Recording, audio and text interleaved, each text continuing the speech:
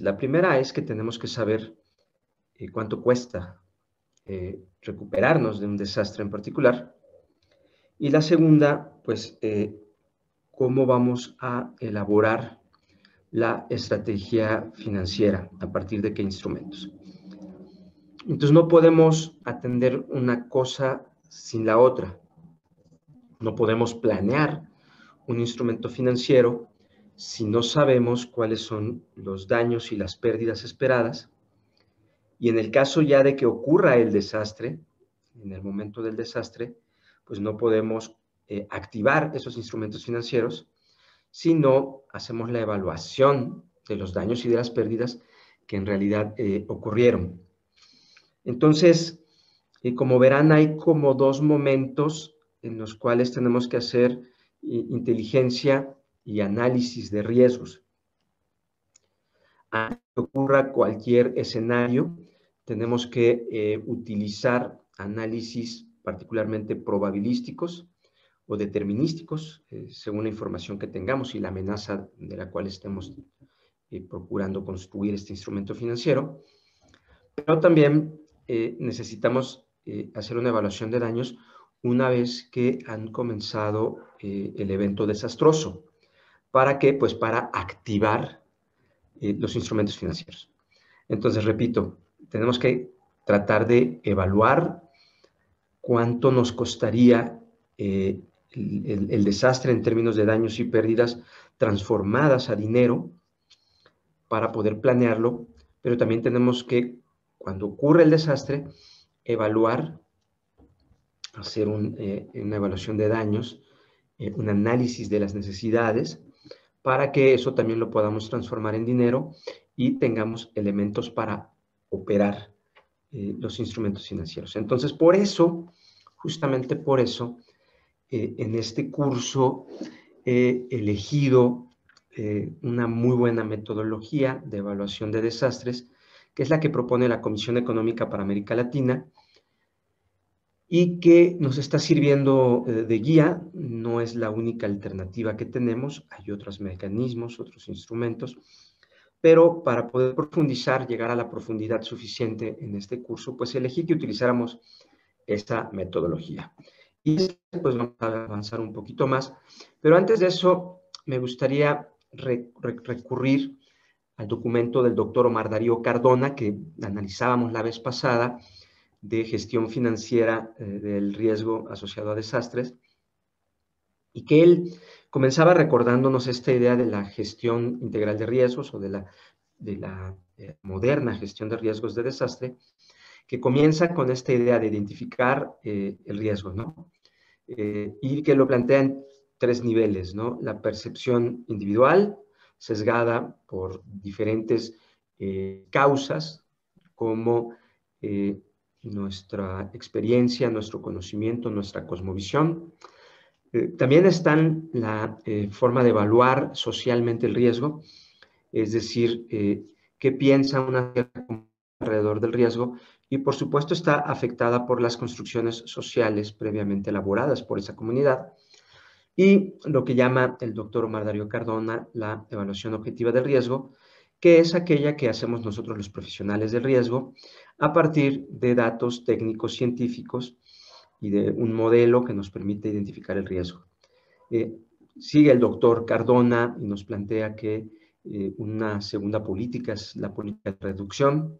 En realidad, eh, Enrique Guevara un poco utilizando las fases planteadas por Alan Lavelle, este, pues nos dice que eh, podemos dividir esta fase de reducción del riesgo eh, en dos, es decir, la gestión prospectiva, evitar riesgos al futuro, y la gestión correctiva. Entonces, tenemos también que el doctor Cardona nos dice que hay otra fase, que es la protección financiera, y que consiste en saber qué vamos a hacer para eh, financiar la respuesta ante un desastre sin que eso cause riesgo fiscal al Estado y que por otro lado eh, permite identificar eh, si se transfiere parte del riesgo, si se retiene parte del riesgo, es decir, nos lo quedamos, decimos, cuando venga la bronca, pues apechugo este, y yo me hago cargo de los daños, o transferimos a través de eh, instrumentos de transferencia. Como quiera que sea, el tener un fondo, el tener eh, un instrumento de transferencia, pues al final de cuentas, eh, en su conjunto, nos determinan cuál va a ser nuestra política de gestión financiera. Y bueno, viene la, parte del manejo de desastres, pues tiene que ver con la preparación, la alerta temprana, la respuesta, la rehabilitación, reconstrucción, todo lo que es la, parte de ayuda humanitaria que hemos venido analizando también desde otro enfoque, eh, que eh, como verán son complementarios al final de cuentas. Nosotros, utilizando un poquito este, esta imagen de Enrique Guevara, eh, interpretando muchas de las ideas del doctor Label y modificado por su profesor, pues nos permitía observar que hay una parte de conocer el riesgo, eh, hay otra parte de evitar riesgos nuevos, reducir los que ya existen, prepararnos para la eh, respuesta, lo que llamamos la gestión reactiva, y la recuperación y reconstrucción eh, restaurativa, la gestión restaurativa o prospectiva correctiva. Entonces, entre comprender el riesgo y actuar, para reducir el riesgo eh, a, partir de cualquiera de sus fases. En medio está la comunicación del riesgo. Y la comunicación del riesgo eh, tiene como propósito eh, lograr que las personas actúen de manera preventiva o de manera reactiva, pero que actúen para reducir los riesgos. Y consiste en tratar de acercar a las personas hasta donde sea posible a lo que es eh, la evaluación del riesgo objetivo. Eh, sin embargo, a veces no es posible que las personas vean de la misma manera que vemos nosotros los peligros, los bienes expuestos o la vulnerabilidad. Eh, y por lo tanto, el propósito de la comunicación es crear no significados comunes, sino sentidos comunes. Los sentidos pueden ser muchos y aquí no buscamos que todos se vuelvan expertos en riesgos, sino que hagan lo necesario, que confíen y que hagan lo necesario para reducir su riesgo. Todo esto requiere un contexto, todo esto requiere eh, que se generen las condiciones para poder eh, conocer los riesgos, eh, comunicar los riesgos y, por supuesto, establecer los instrumentos más apropiados para poder determinar este, y ejecutar acciones. Por otro lado, también es cierto que estas condiciones eh, requieren incrementar las factibilidades. La factibilidad técnico-científica nos permite comprender mejor el riesgo, la factibilidad cultural nos permite encontrar eh, significados, perdón, sentidos comunes que se acerquen a los significados de la evaluación objetiva del riesgo. La factibilidad política implica que el poder eh, se distribuya de una manera más equitativa y se tomen las decisiones necesarias para eh, responder ante los desastres o prevenirlos o gestionarlos en términos generales. La actividad económica, que es aquella en la que estamos trabajando ahorita nosotros, consiste en tener los instrumentos financieros apropiados eh, para poder responder ante un desastre y para que el impacto económico del desastre pueda ser eh, de algún modo eh, controlado, limitado, que, no ocurra esto que, planteamos nosotros eh, de, los cerillos, donde un cerillo prende otro cerillo y otro cerillo prende otro, sino que existan elementos apropiados para contener el impacto del desastre. ¿A partir de qué? A partir de una respuesta apropiada. Está la factibilidad social, la factibilidad jurídica y, por supuesto, la factibilidad administrativa.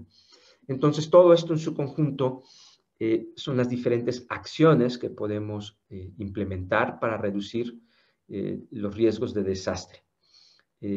comprender el riesgo, comunicar el riesgo, las perspectivas o acciones correctivas también, reactivas y restaurativas, y todas las fases, o todas las acciones, perdón, que están alrededor de estas fases que facilitan o que pueden limitar la factibilidad de que suceda la eh, eh, gestión de los riesgos, la reducción de los riesgos. Entonces, pues como lo hemos platicado, esto es un tema complejo que requiere eh, esquemas como estos que nos ayuden a poder identificar si estamos haciendo lo suficiente o hay espacios donde no estamos trabajando eh, o lo hemos dejado. Esto es lo que yo denomino la caja de herramientas. Eh, podemos planear el desarrollo o hacer un sistema de alerta temprana o prepararnos para la evaluación este, de emergencia o de reconstrucción. Eh, podemos generar transferencia de riesgos.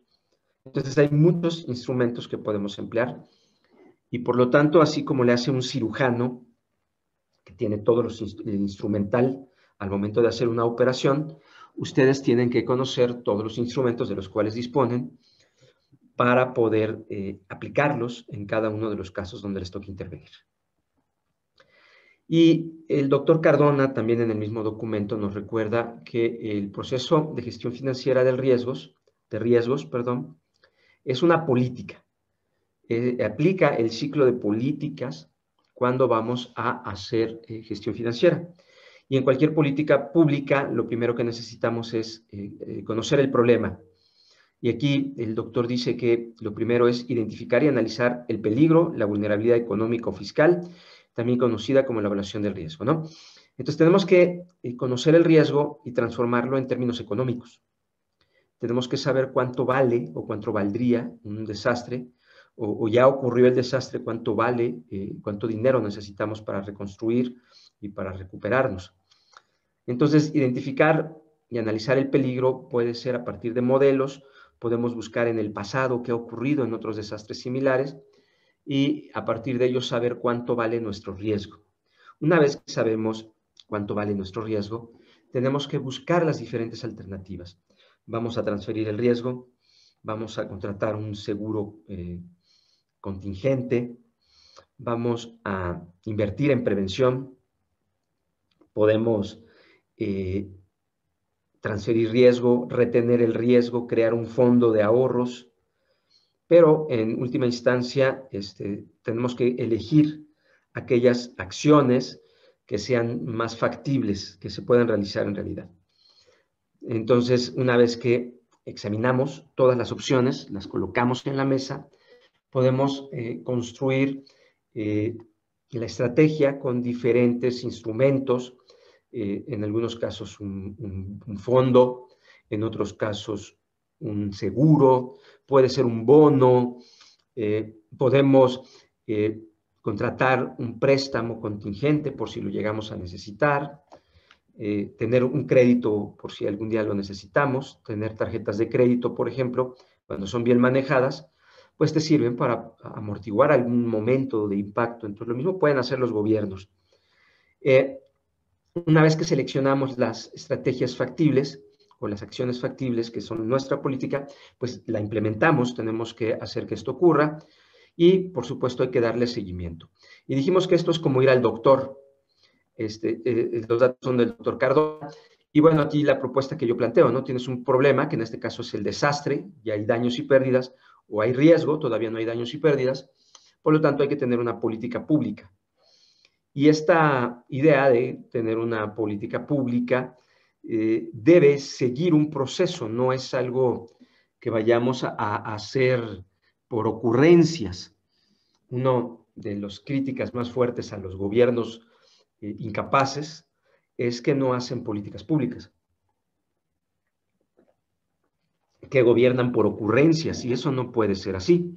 Una buena política es racional, es decir, la decisión pública es racional, no es una ocurrencia que se nos ocurre todas las mañanas, sino que una verdadera política eh, utiliza eh, un método. Y el método, le denominan el ciclo de políticas, consiste, en primer lugar, en eh, comprender el riesgo y sus causas. Entonces necesitamos datos, peligro, exposición, vulnerabilidad, atlas de riesgos, evaluación de desastres pasados, estudios, eh, ciencia en términos generales para comprender las causas del riesgo y a partir de ello, pues identificar cuáles causas son las que provocan eh, eh, de mayor manera el riesgo y en cuáles podemos intervenir. Para cada causa planteamos una opción, decía el doctor Cardona, hay que ver todas las opciones. Cuando hablamos de riesgo financiero, pues son todas las opciones. Retener el riesgo, es decir, me lo quedo, transfiero el riesgo a través de un seguro, a través de un bono. Eh, contrato un crédito, lo tengo ahí listo para cuando lo necesite. me preparo, ayudo a mis vecinos para que el día que yo necesite, pues mis vecinos también me ayuden. Y busco todos los instrumentos que me permitan eh, construir una estrategia. ¿no? Entonces, una vez que tengo todas las opciones, reviso cuáles de ellas son factibles, técnica, económica, política, social, cultural, legal, ambiental y administrativamente. ¿no?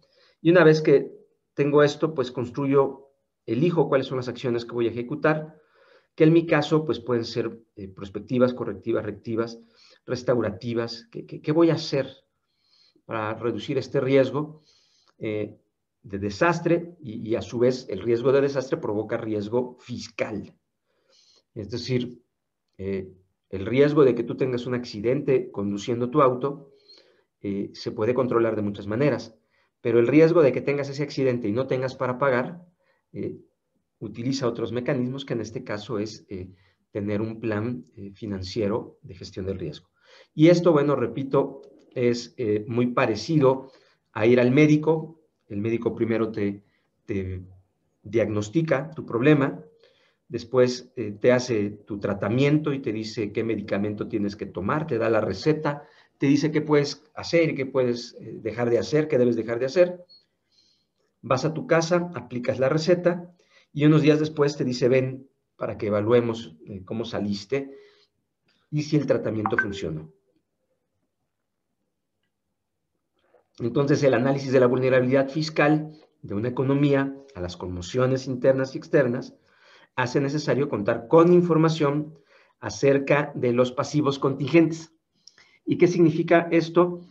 Pues que ya hemos visto que cuando ocurre un desastre, hay varias, eh, varios propósitos eh, detrás de atender un desastre, ¿no? Para el gobierno puede ser garantizar la gobernabilidad democrática, para eh, las organizaciones internacionales, lo veíamos, pues tiene que ver con un imperativo humanitario que implica que todos tenemos derecho a recibir asistencia, a ser protegidos, ya que se respete nuestra dignidad bajo cualquier circunstancia, aun en condiciones de desastre. Y por lo tanto es una obligación del gobierno, eh, es una obligación humanitaria del gobierno. Y por lo tanto, eh, esto es como una deuda. Es una deuda que todavía no ocurre porque es contingente. Algún día puede aparecer y materializarse tu deuda. Y por lo tanto, como ya sabemos que podría ocurrir porque tenemos análisis de riesgos, pues queremos saber de qué tamaño es esa deuda contingente o ese pasivo contingente. Pasivos es algo muy similar y utilizo la palabra, sé que no es exacta, pero la utilizo para mayor claridad. Este pasivo contingente podría materializarse y entonces vamos a tener que pagarlo. Entonces, la idea de que sea un pasivo, una deuda que tiene el gobierno ahí pendiente y que tarde o temprano puede pagar, eh, es útil pues para poder preverla. También, este, otra vez está mal esta imagen, no sé por qué, que estoy haciendo mal, ya sé que estoy haciendo mal, permítanme un segundito. Eh, y, aquí eh, se planteaba la, sesión pasada varias preguntas, algunas de ellas que, que tenemos que tener presentes, ¿no? el gobierno no solamente tiene que preparar dinero para atender, sino que tiene que tomar acciones preventivas. Y, lo veíamos, por ejemplo, con el dilema del, del, buen samaritano, el dilema del samaritano, donde te doy dinero y te atiendo ahorita y te apoyo ahorita, pero tarde o temprano este, tú vas a volver a sufrir el daño porque puede ser que algunas personas digan, bueno, pues ¿para qué prevengo si de todas maneras cuando ocurra algo, va a venir papá gobierno y se va a hacer cargo de los daños y de las pérdidas. Entonces, eh, decía que la idea es que si las personas están seguras, de que van a contar con nuestra transferencia, o sea, eh, las personas ya nos transfirieron el, riesgo al gobierno, a todos, ¿no? Es decir, es dinero de todos. Entonces, cuando las personas nos transfieren su riesgo y saben que les vamos a dar dinero, eh, subsidios, eh, caridad, créditos, y que al final nos vamos a hacer cargo del impacto, pues tal vez prefieran no hacer nada. ¿no? Ellos prefieren reducir el nivel óptimo de gastos en aseguramiento, obligando al Estado a asumir todas las pérdidas, ¿no? Entonces, no van a querer reducir su riesgo porque no están reteniendo realmente el riesgo. El riesgo lo están enviando a todos, nos estamos haciendo cargo todos, ¿no? Y eso tarde o temprano podría generarles no solamente el daño material, sino daños eh, a su persona o a sus familias, que tarde o temprano pudieran ser eh, más graves, ¿no? Y planteamos esta idea de estas rebanadas, la estructura del riesgo, qué vamos a hacer si algo ocurre. Y, aquí Cardona plantea esto para gobiernos eh, locales o para un cierto riesgo, donde los gobiernos locales eh, pagan una parte con su deducible, otra parte de los ahorros o del dinero de los gobiernos locales, ellos tienen que eh, transferir partidas, sacar los ahorros. Después puede entrar el gobierno nacional con un fondo como el Fonden, pero si es más grande el evento, bueno, pues lo pagas con un seguro. Y si el evento es todavía más grande, pues este, tendrás que investigar a ver de dónde sacas dinero, porque ese pedacito, aquí por ejemplo vemos que eh, se estaría reteniendo el 25% del riesgo. Es decir, el riesgo retenido es el 25%. Nos vamos a hacer cargo de este 25%, más este otro pedacito de acá, más este, esta parte de aquí, ¿no? O sea, este no está cubierto de ninguna manera, perdón, y el retenido está de aquí, acá, es la mitad, ¿no? Es decir, el gobierno local va a apoquinar una parte, otra parte el seguro, y así sucesivamente. Entonces, establecer las capas es algo muy importante para tener nuestra propia estrategia. Pero ¿cómo vamos a establecer las capas si no sabemos cuánto vale nuestro riesgo, es decir, cuánto valen los daños y las pérdidas que podrían ocurrir. Si no tenemos ese dato, si no sabemos cuánto valen los daños y las pérdidas, difícilmente vamos a poder planear una estrategia. O la otra, si ya ocurrió el desastre, si no hacemos una evaluación de los daños y las pérdidas que ya ocurrieron, entonces no vamos a saber cuánto hace falta y de dónde podemos echar mano para conseguir esa cantidad, ¿no? Entonces aquí el principio más importante es que haya una previsión y una eh, gestión anticipada del riesgo fiscal. Y muchos gobiernos pues no hacen esto, simplemente se gastan todo el dinero, eh, regalan nuestro dinero a cualquier persona, no guardan fondos, no hacen un ahorro, eh, no compran seguros. Y a la hora que viene el problema, pues no hay por dónde actuar. A la hora que viene el desastre, el gobierno local luego, estira la manita porque no tiene nada.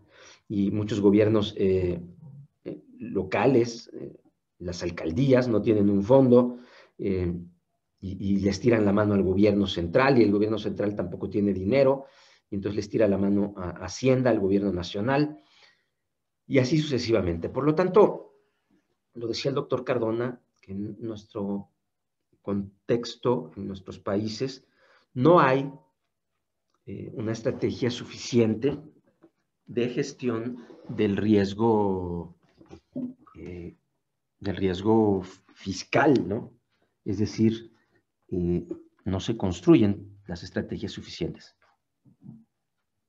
Y México, bueno, pues no es la excepción, a pesar de que México fue el primer gobierno que generó un bono soberano, ya platicaremos qué es eso, un bono eh, catastrófico, un instrumento paramétrico le llaman también, que tiene parámetros, ya lo vamos a platicar en qué consisten, pero nuestro país creó eh, este bono que protege el patrimonio del Fonden, Y, bueno, este, se amagó con que ya no se iba a comprar porque había gente que no entendía. Es lo malo de que luego gobierne gente que no sabe de economía, aunque hayan pasado por la universidad, se tardaron 10 años y no saben de economía.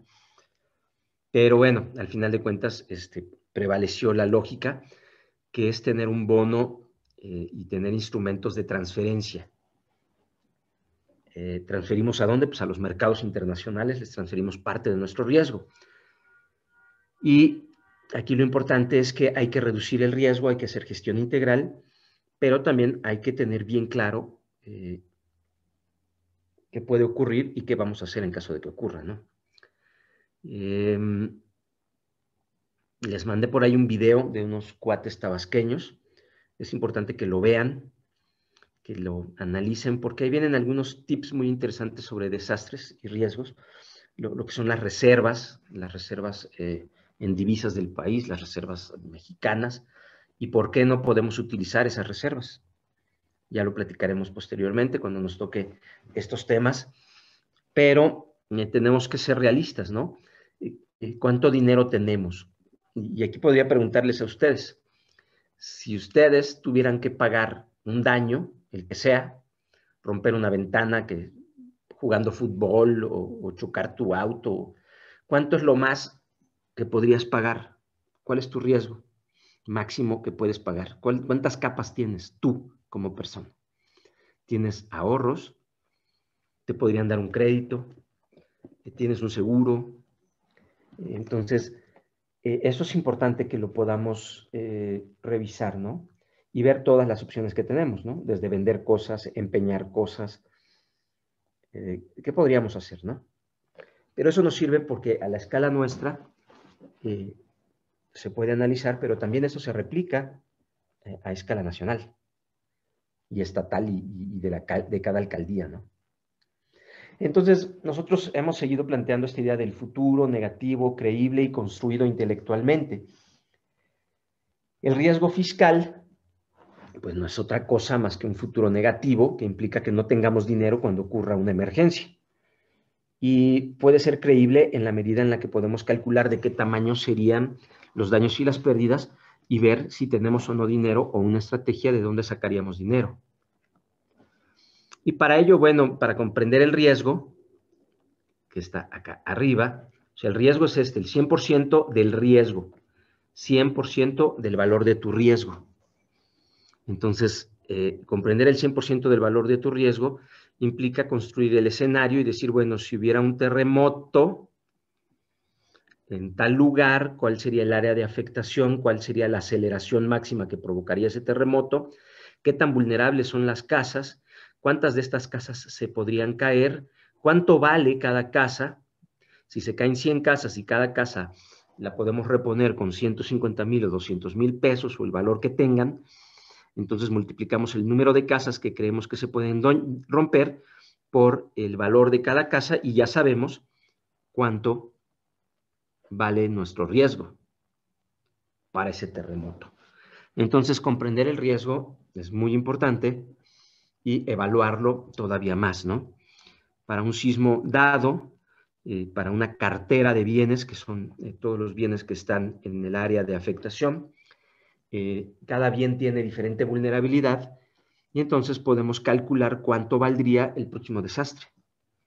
Cuánto valdría el sismo de la brecha de Guerrero para la Ciudad de México y para Guerrero y para el Estado de México y para Morelos y cuando tienes ese dato, pues tú ya sabes cuánto te costaría el próximo desastre. ¿Qué son los daños? Los daños son muertos, heridos, lo que se rompe, lo que se avería, lo que se deteriora. Las pérdidas son eh, beneficios que dejamos de recibir eh, por el daño o por la presencia del fenómeno.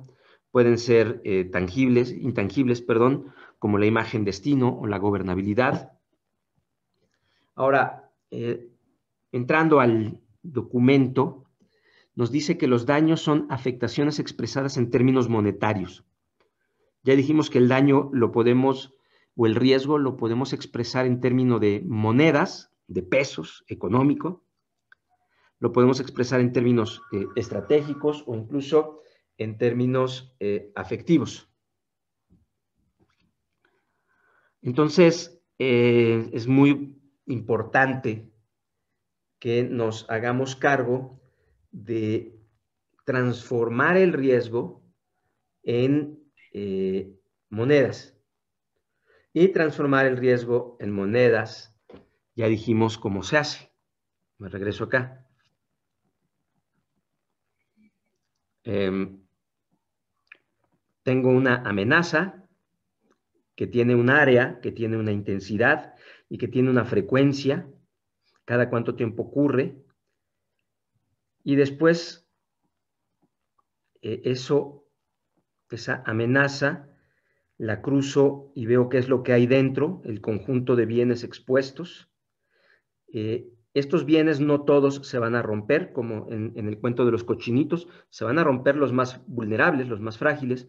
Entonces identifico aquellos que tienen características que los hacen susceptibles al daño y veo cuántos se romperían, si este se manifiesta, cuántos se romperían por ser vulnerables.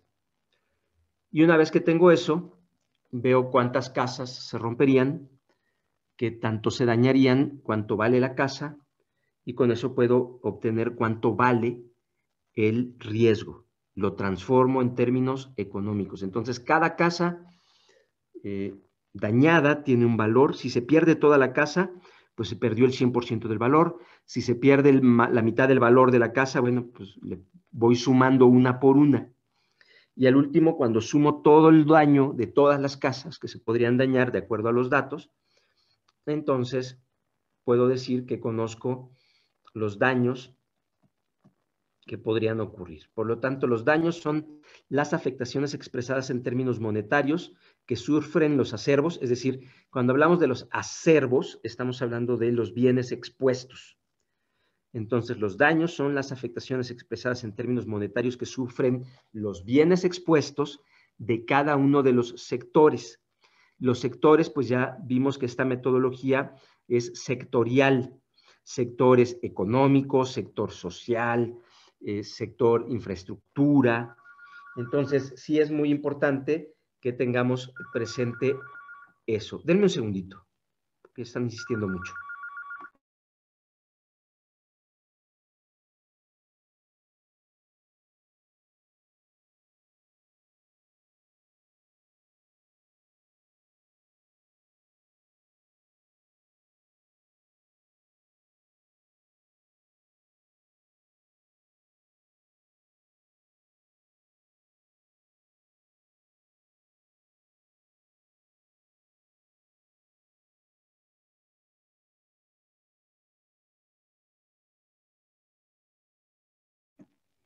Perdón, les ofrezco una disculpa. Entonces, eh, repito, los daños se pueden expresar en términos económicos. y ¿Son los daños de qué? Pues de todo el sistema expuesto, que son los acervos. Y lo podemos dividir en sectores, es decir, en, la vivienda, el sector social, la vivienda, los hospitales, el del sector infraestructura, las carreteras, el sistema eléctrico, en el sector económico, pues los daños en la agricultura, en el turismo, eso, a eso se refiere con los sectores. Entonces, nuestra metodología nos dice que tenemos que expresar los daños en términos económicos para cada sector que se vio afectado. Y estos ocurren durante el evento que causa el desastre. Según el sector, considerando los acervos, incluyen, vamos a, a revisar estas notas bien interesantes. Los activos fijos, es decir, ¿qué se puede dañar? Lo que tiene una expresión material, dijimos, ¿no? Edificios, las instalaciones, la maquinaria, los equipos, los medios de transporte y almacenaje, los mobiliarios, las obras de riego, por ejemplo, para la agricultura, las presas, las vialidades, los puertos. Es decir, podemos dividir los daños en muchos, muchos, muchos grupos, ¿no?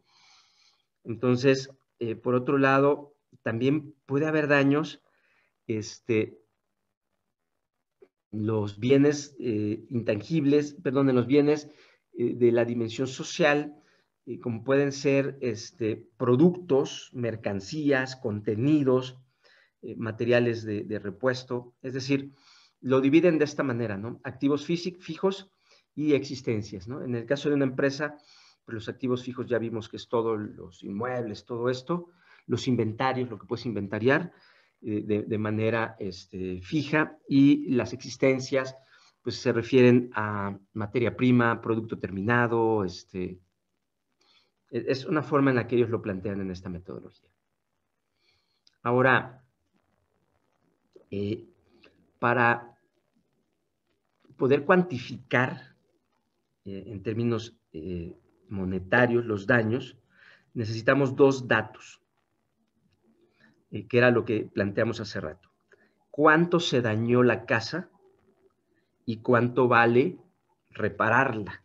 Por ejemplo, cuánto, observen esta imagen y traten de imaginar cómo le harían para saber cuánto vale eso.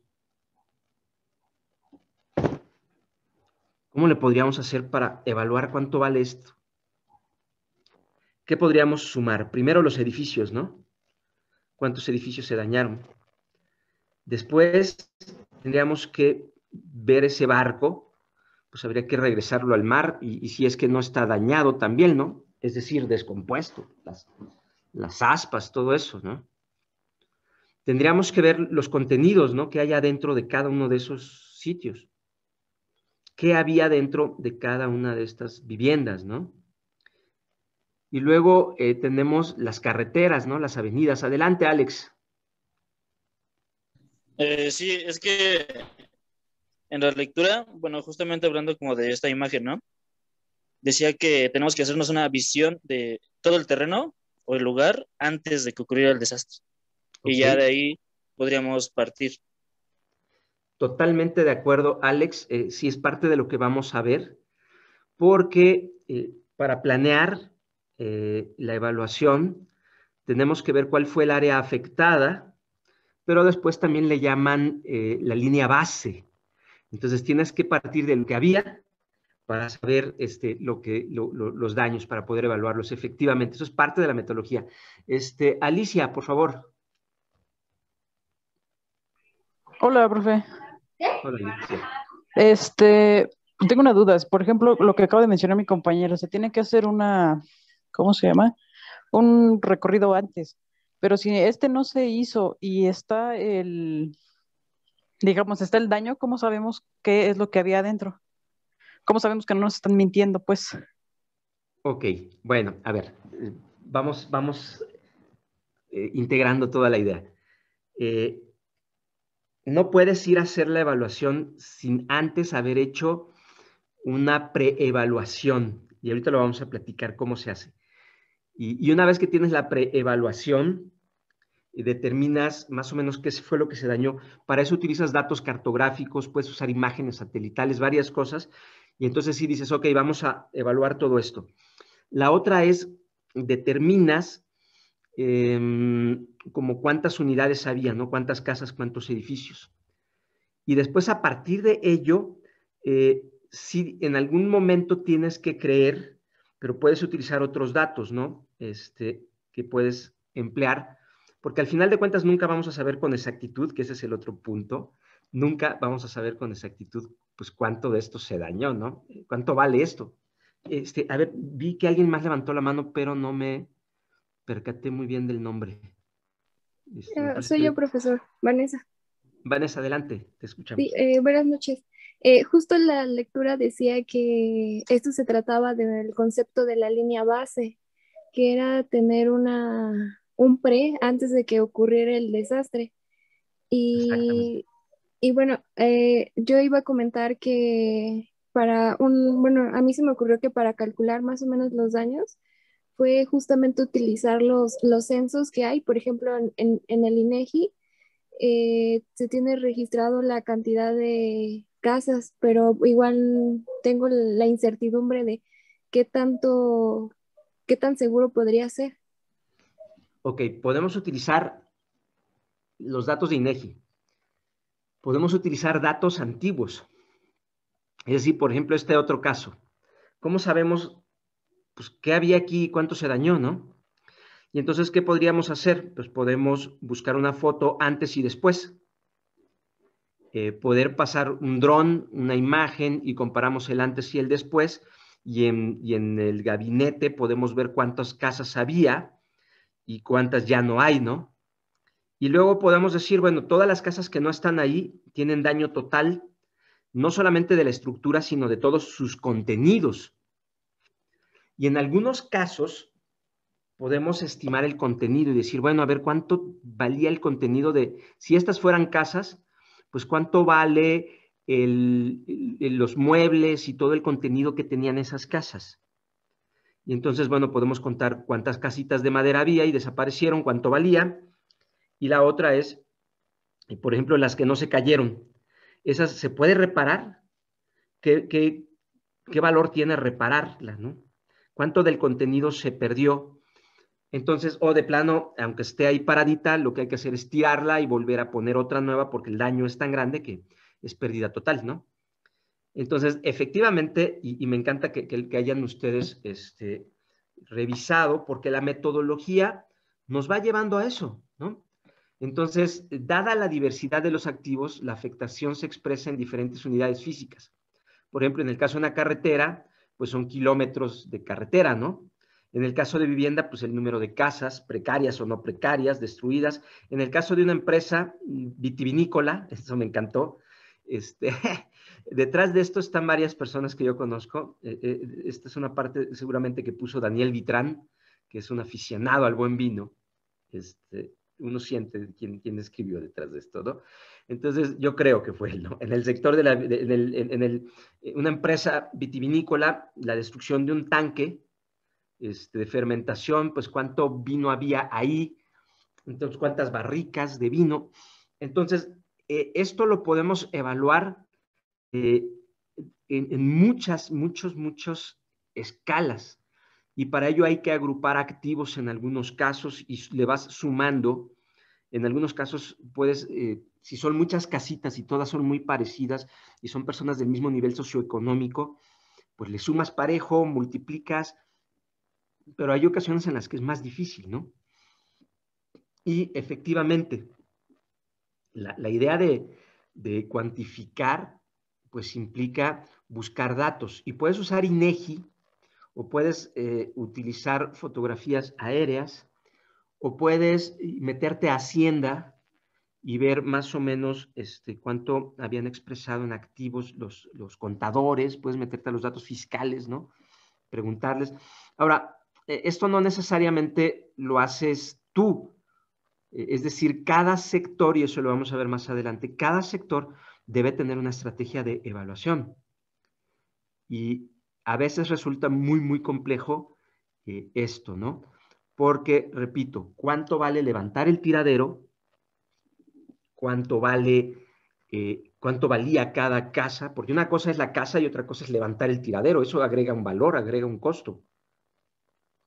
¿Y, cuánto vale cada automóvil que ven ustedes allí? Este, ¿Son rescatables esos autos? ¿Es pérdida total? ¿Quién lo va a determinar? Pues seguramente la aseguradora, porque la mayoría de los vehículos tienen seguro, ¿no? O muchos llevan a tener seguro. Entonces, lo que hay que hacer es que cada sector evalúa y tenemos que tener eh, una unidad básica para cada tipo de evaluación. Alex Galicia, adelante. Por ejemplo, en el censo que que realiza cada sector. Eh, solamente en cierto caso son datos que, el, mismo, el mismo sector eh, que lo hace los ocupa o estos al mismo tiempo eh, se conjunta como que con otros sectores para hacer como que una comparación para que no existan como una cierta como sí sí esa, esa parte esa marca de error de diferentes sectores. Esto se puede realizar para que digamos que se tenga una buena, este, eh, un, buen número como tal censado eh, de que, ah, bueno, pues el mío sí coincide con el tuyo. Este, porque como tal, igual en la lectura pues mencionaba la parte de, realizar encuestas momentáneas, momentáneas perdón. Este, pero digo, es que, ¿sabes qué? Pues ese sector, los datos que me dio a mí no me están funcionando. Mejor yo lo voy a realizar. Pero entonces, esa parte, ¿cómo se, se, podría, se podría gestionar para tener pues una, una cierta eh, cantidad sensada que sea precisa? Bueno, a ver, este, nunca vamos a tener el dato exactitititito. Y ahorita vamos a ver también por qué. Pero porque hay sesgos, ¿no? Y, hay cosas que de repente, ¿cuánto vale ese auto que está ahí, el, negrito? ¿Cuánto valía, no? Pues si lo compras de agencia vale un dinero, pero como ya estaba usado, pues ya está eh, depreciado, ¿no? Entonces, ¿cuánto realmente valía, no? el, auto. Entonces, a veces resulta un poco complejo y, también viene el documento, pero lo ideal es que lo haga cada sector y que eh, vengan acompañados de especialistas. Y aquí algo muy curioso es que a mí me tocó eh, en México, en, el Centro Nacional de Prevención de Desastres, la dirección que yo tenía a mi cargo eh, se hacía cargo de estas evaluaciones. Y habían varias personas que la, vez pasada les platiqué, ahorita están en el gobierno de la ciudad, son expertazos, incluyendo a la, incluyendo a la secretaria. Ella trabajaba para la CEPAL y parte de su trabajo era este. Y si hay alguien que sabe eh, más o menos cuánto valen los desastres y, y, cómo impactan, pues es ella. Pero al final del camino, lo ideal es que sea cada sector y que lo acompañen expertos. Y la propuesta de CEPAL ha sido pues que haya muchos que sepan hacer este trabajo. Y al último, eh, nunca va a ser una contabilidad exacta pero lo, importante es que a través de una metodología clara nos podamos ir acercando. Y para eso vamos a ir revisando sector por sector. Esa, esta es parte de nuestro propósito, ¿no?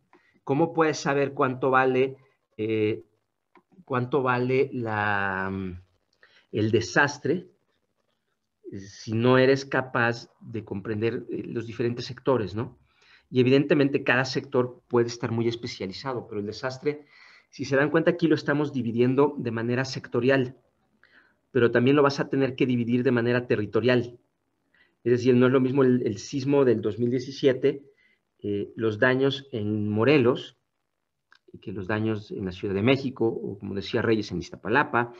Entonces, se divide sectorialmente y se divide territorialmente para poder tener no solamente eh, la evaluación, eso es el primer paso, sino que también la estrategia financiera que se va a aplicar, ¿no? Y vamos a avanzar. Eh, algo que tenemos que tomar en cuenta, eh, se tienen que tener criterios de valoración.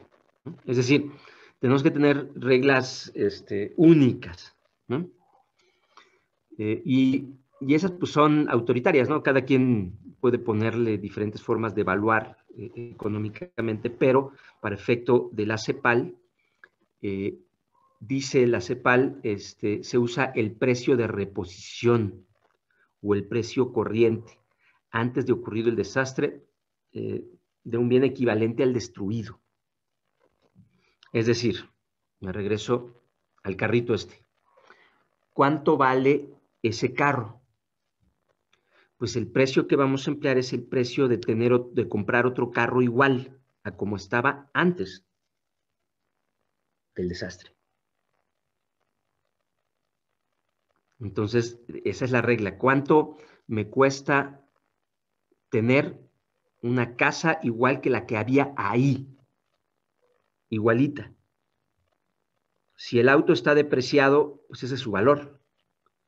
Eh, no era un auto nuevo, era un auto usado. Si aquí hubiera una agencia de autos y viene el tsunami, se lleva la agencia y los autos están nuevecitos en la agencia, pues utilizamos el valor del auto en la agencia. Entonces, aquí lo que nos dice es cuál es el precio de reposición. Eh, ¿Cuánto nos cuesta construir un edificio igualito que el que está atrás, todo dañado. ¿Cuánto nos costaría? Y aquí vamos a ver que hay un problema entre evaluar eh, el daño y evaluar la reconstrucción. ¿Qué quiero decir con eso? que un principio de la reconstrucción eh, es el build back better o reconstruir mejor. Y reconstruir mejor significa que no te voy a dar una casa igual de vulnerable como la que tenías, ahí toda rota, ¿no? Te voy a dar una casa más resistente a la que tenías. Por lo tanto, el valor del daño original fueron 100 pesos, pero como yo te voy a dar una casa más resistente, porque sería absurdo darte una igual de vulnerable, es muy probable que la reconstrucción, en vez de costar los 100 pesos originales, te cueste esa casa 110 pesos, porque la hiciste más resistente. Y eso, bueno, es parte de lo que vamos a ir discutiendo, ¿no? Entonces, la evaluación es el valor de reposición. Y el valor de reposición no necesariamente es el valor de reconstrucción. Es decir, yo te puedo dar un carro igualito a este y ese es su valor de reposición. Si me voy al mercado libre y, o me voy al mercado y veo cuánto vale un carro como estos de este año este, que esté funcionando, no nuevo, sino un, auto parecido a este, ese es el valor de reposición del auto. Pero como este auto a lo mejor era vulnerable, te voy a dar otro que tenga, que sea anti-tsunami, ¿no? y te puedo construir una casita como esta que había aquí de madera, se ve que todo esto era madera, o podemos construir una casa como esta que eh, te sirva incluso de refugio, ¿no? Digo, en algunos casos aquí no creo que haya funcionado de refugio por la altura del tsunami.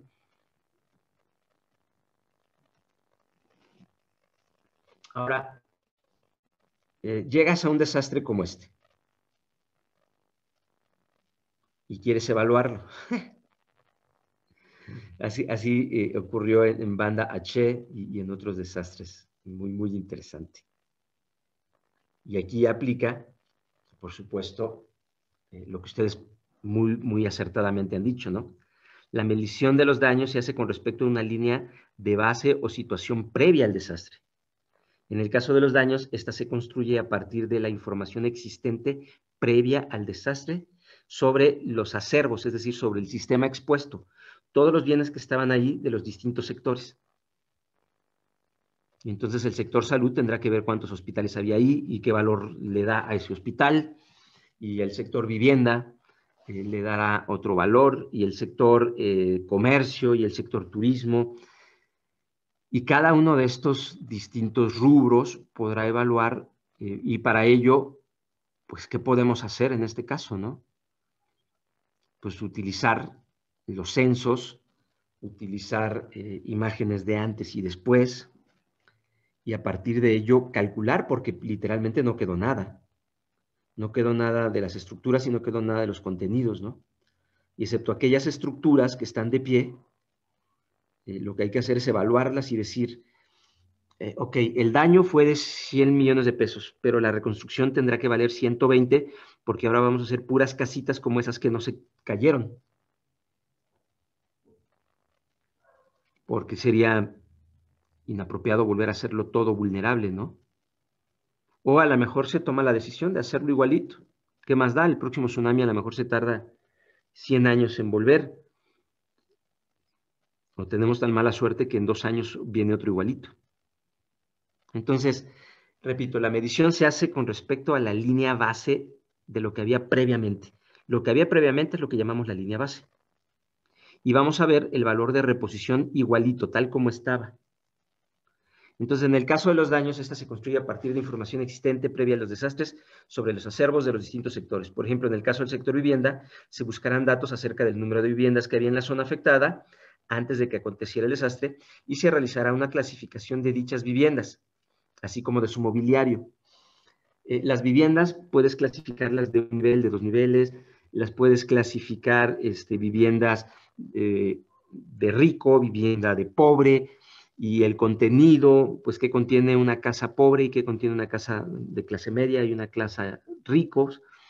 Y una vez que estableces eso, dices, bueno, a ver cuántas casas hay de, pobres, cuántos de clase media, cuántas de ricos, lo multiplicas y entonces ya tienes más o menos un valor, ¿no? Exactito no lo vamos a encontrar. Pero cuando hablamos de esa línea base, pues tenemos que usar lo que había antes. Y en algunos casos, como este, es muy evidente que pues vamos a tener que aplicarnos, ¿no? Buscando fuentes de información para poder calcular el valor.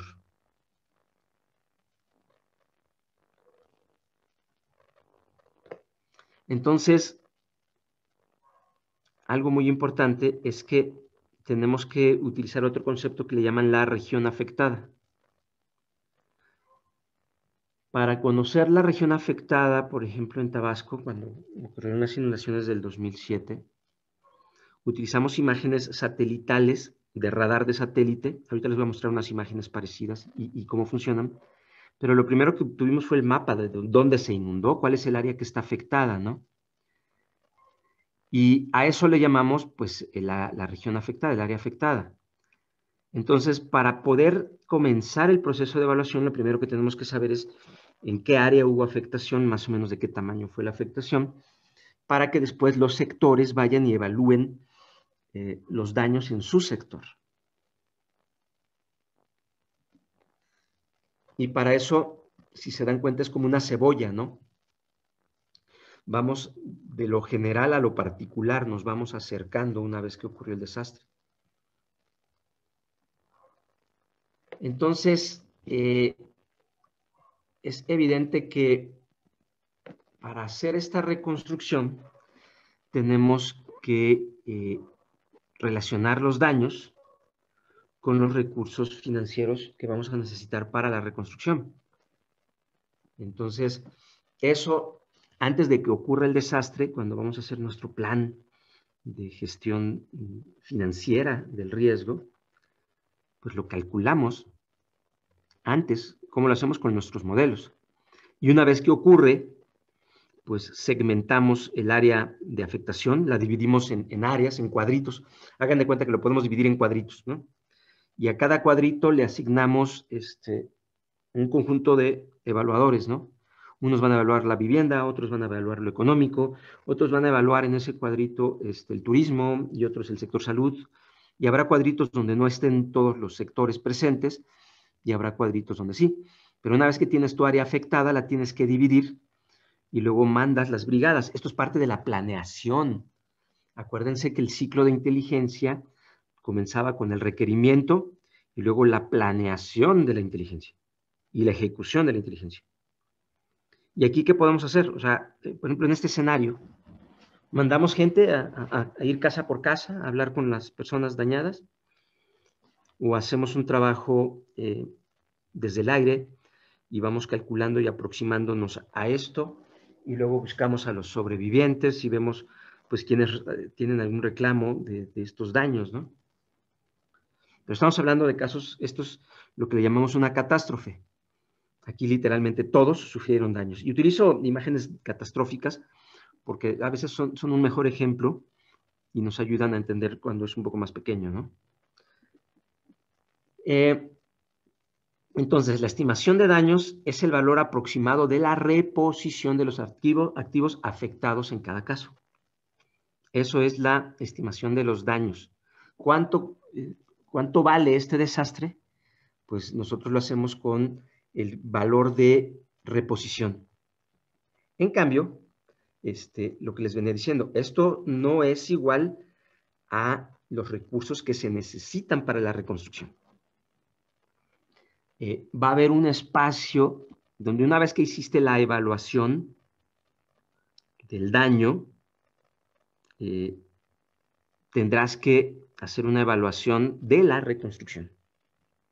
Pero no puedes iniciar una sin la otra.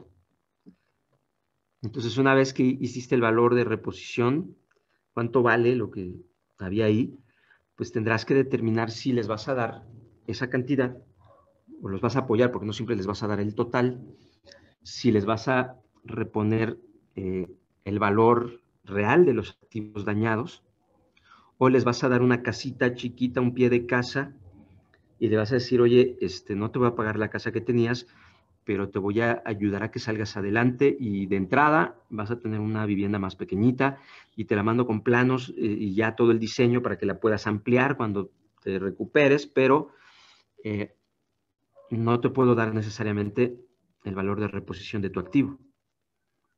O puede ocurrir de otra manera que se decida eh, hacerlo una reconstrucción más resistente, ¿no?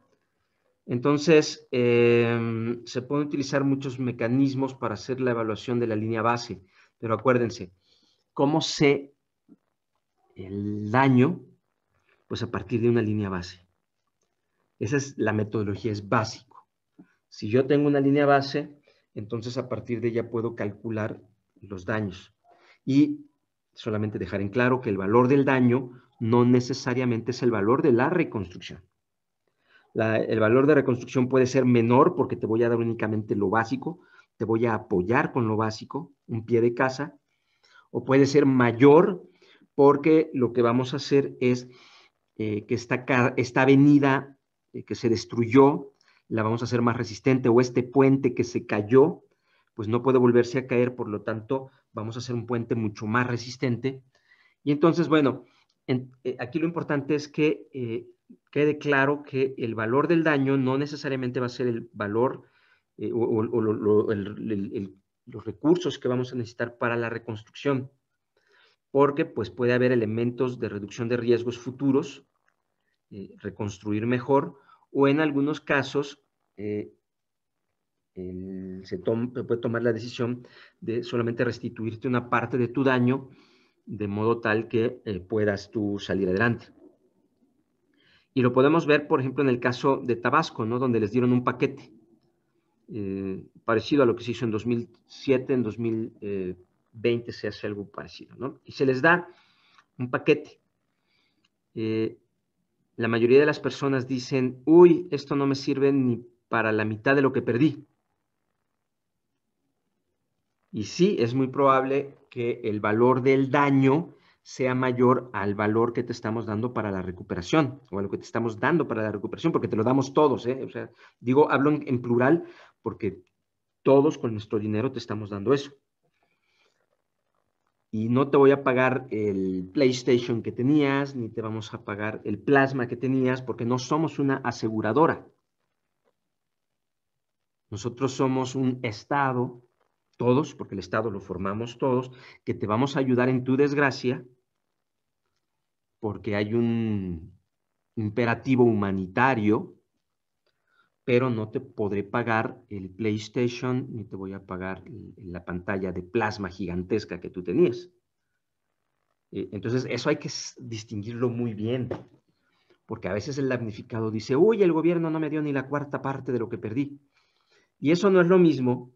Fíjense, cuando hablamos del propósito de la reconstrucción, hay que analizarlo si se trata de una responsabilidad patrimonial del gobierno, es decir, eh, el gobierno no le dio mantenimiento al río o, al, drenaje profundo o al drenaje de tu casa. Y por lo tanto, el gobierno provocó que se inundara tu casa y se pierde todo. Por lo tanto, ahí hay una responsabilidad patrimonial. ¿Por qué te ayudo? Para que no la hagas de tos, puede ser, mantener la gobernabilidad democrática. ¿Por qué te ayudo? Ah, porque es un principio humanitario, ¿no? Hay un imperativo humanitario, porque eres un ser humano y te tengo que ayudar, solamente por el hecho de que eres un ser humano. O la otra, ¿por qué te pago esto? Ah, pues porque había una responsabilidad patrimonial, porque el gobierno no hizo lo que tenía que hacer y te provocó un daño, entonces hay una responsabilidad patrimonial eh, del gobierno. Y aquí podríamos pensar en, en los tabasqueños, ¿no? Si Comisión Federal decidió abrir las compuertas y administró incorrectamente y lo llevan a un juzgado, todo esto, y al último los jueces dicen, aquí hay una responsabilidad patrimonial del Estado, entonces a esa persona que se le dio el paquete de 10 mil pesos o no sé cuánto valga el paquete que les mandaron, puede decir, esto no valía mi daño, yo tuve un daño mayor y exijo que se pague mi daño porque hay una responsabilidad. Entonces, vaya, al final de cuentas, Em, lo importante de esto es entender que eh, la mayoría de los casos el valor de reposición del activo no necesariamente es el eh, dinero que se va a invertir en la reconstrucción. Y, esto lo vamos redondeando, ¿no? Eh, decíamos, ¿por qué te lo tengo que pagar en la sesión pasada? Ah, pues bueno, porque no quieres que haya manifestaciones y se pierda el control social, o porque no quieres este, eh, que se te juzgue de inhumano, porque aunque no lo creas, eh, hay un imperativo humanitario, o porque crees en eso, o sea, porque estás convencido de que, de que no se vale el sufrimiento de los demás. y quieres ayudar, pero ¿hasta dónde vas a ayudar? ¿Te voy a comprar la casa igualita como la que tenías o te voy a ayudar hasta donde puedas vivir con dignidad y salir adelante tú mismo? Entonces, todo eso es lo que se tiene que cocinar en cada desastre y toda esa complejidad es la que está detrás del instrumento financiero. Vamos a avanzar. Entonces, espero que quede claro esto, ¿no? la evaluación del daño no necesariamente es igualitita a la cantidad de dinero que necesitas para reconstruir. Ahora, eh, hay otro aspecto que ya les había comentado y observen esa estufa. Pues no es una estufa nueva, ¿no? Entonces, eh, lo destruido total o parcialmente puede estar completamente depreciado. Ya no es parte de este acervo, del capital de esa familia, por ejemplo, ¿no? ¿Por qué? Pues porque cuánto vale ya esa cocina, ¿no? Entonces, eh, cabe esperar que una vez que se produce la reposición de los activos depreciados, el acervo eh, de, las, de la economía o, de las casas de las personas este, se va a incrementar a niveles que superen los que existían antes de la ocurrencia del desastre. Piensen ustedes en el refrigerador que se echó a perder en una casa eh, tabasqueña, por ejemplo, ¿no? No era un refrigerador nuevo, de ninguna manera. Pero imagínense el gobierno tratando de comprar, este, necesito 20 mil refrigeradores usados para darles uno igualito al que tenían. Pues no, ¿verdad? O sea, no, va a ser fácil conseguir. O, les voy a dar una estufa, entonces e, esa estufa pues no va a ser igual que esa que ven ahí. A lo mejor va a ser nueva. Y a lo mejor no va a ser tan grandota, un, un, horno tan grandote como ese, a lo mejor va a ser un horno más chiquitito. Entonces, lo que nos dice el manual que lo destruido total o parcialmente puede estar completamente depreciado.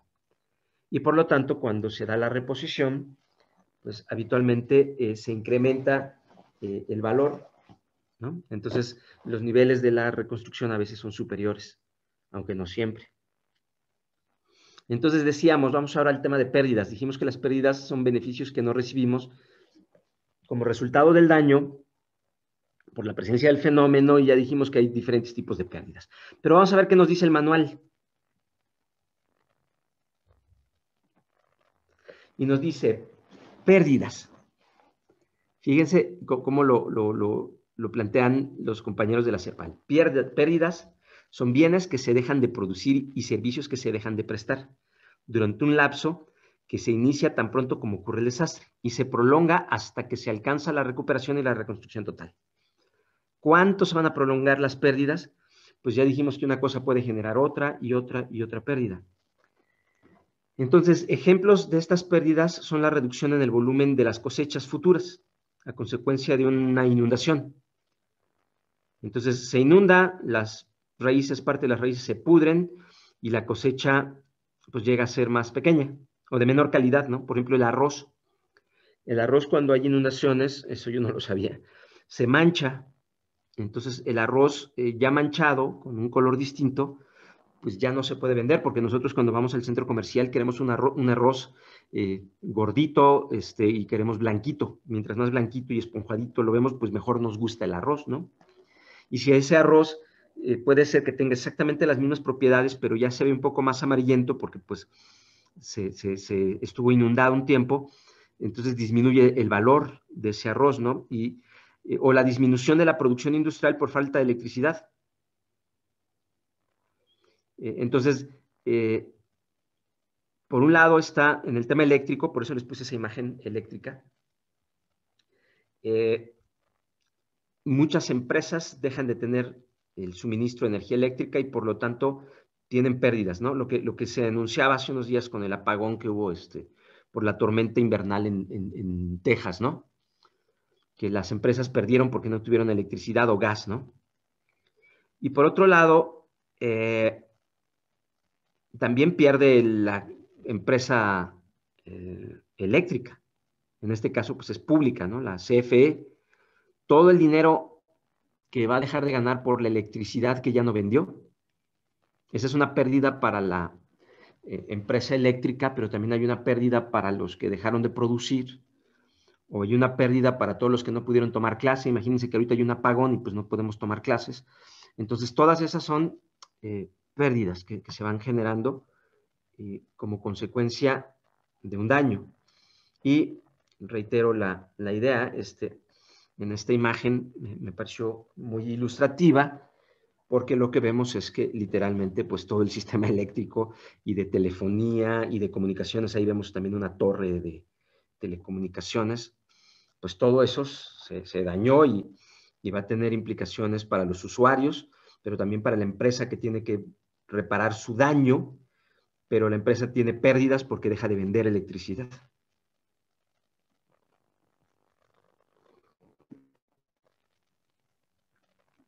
Y entonces dice que el concepto de pérdidas es más complejo que el, concepto de daño. Es decir, en el, daño, si el daño es difícil de evaluar, este, y, podemos usar una línea antes, una línea base y contar casitas y calcular más o menos cuánto había dentro de cada empresa o de, cada casa, eh, calcular las pérdidas es más complejo y es más difícil, porque no es solamente eh, contar cosas evidentes y tangibles, ¿no?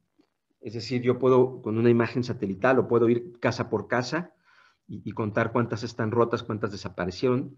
Eh, entonces, todo eso es tangible, lo hemos dicho. Los daños ocurren en bienes tangibles, bienes que puedes tocar. Puentes destruidos, casas destruidas, eh, averiadas y, todo esto que dijimos que el daño son eh, lo que se rompe, lo que se avería o lo que se deteriora. ¿no?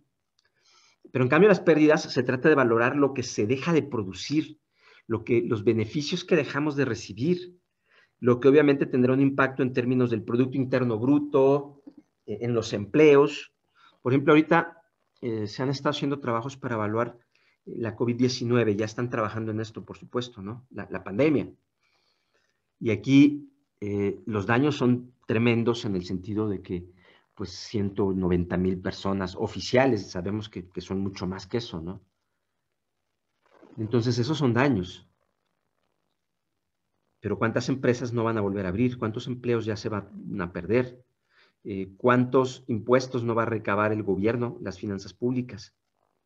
Eh, ¿Cómo se va a deteriorar nuestra balanza de, con respecto a otros países, no? Este, eh, lo que les vendíamos y lo que les comprábamos a otros países. Entonces, al final de cuentas, lo, importante de esto es entender que el tema de pérdidas, pues lo puedes conectar al infinito y más allá, pero solamente se van a registrar aquellas para las cuales se tenga em, una evidencia. Y a veces la evidencia no es directa. O sea, no vas y tocas y cuentas el número de casas, sino que se utilizan técnicas un poco más indirectas. Eh, por ejemplo, este caso, una erupción volcánica, eh, que por supuesto, y, perdón por la imagen, pero eh, genera un daño directo a, las personas. entonces, imagínense esta erupción, es una avalancha ardiente, explotó el volcán, no hubo un sistema de alerta, este, murió gente, se perdió ganado, se perdieron cultivos, se perdieron muchas cosas. Entonces dice, las pérdidas resultan difíciles de medir íntegramente en el momento en el que se realiza la valoración. ¿Por qué? Pues porque las pérdidas, este, pues tú a lo mejor haces una evaluación unos días una semana después. Entonces, este, y cuando haces eso en ese momento no son evidentes las pérdidas en el corto plazo sino que las pérdidas las vas a ver durante mucho tiempo después. Y pongo aquí un ejemplo. Em, estas tierras eh, que fueron cubiertas por ceniza volcánica, la ceniza volcánica es un vidrio, y ese vidrio volcánico, este, para convertirse en un suelo que le dé nutrientes a las plantas, pues requiere procesos, una transformación eh, que haga que ese vidrio se disuelva y, suelte sus nutrientes, ¿no? Hay una transformación química y mecánica y todo eso para que eh, la ceniza volcánica se convierta en un suelo útil para las plantas. Entonces, ¿qué ocurre? Que eh, todo este suelo durante algún tiempo no va a poder producir. Entonces, toda la producción que se generaba aquí, eh, tanto em, de plantas, de cultivos, como de animales, o sea, tú no puedes meter un animal ahí. Es más, esa ceniza volcánica en el estómago de los rumiantes los inflama y los mata incluso. Entonces, ¿por cuánto tiempo este suelo va a dejar de producir? Entonces, cuando tú vas y haces la evaluación del evento volcánico, pues resulta que las afectaciones tal vez duren algunos años, aunque tiene una gran ventaja. Después de la erupción volcánica, estos suelos, al ser vidrio volcánico, que eh, no tarda tantísimos años en transformarse, pues llegan a, producir tal cantidad de nutrientes.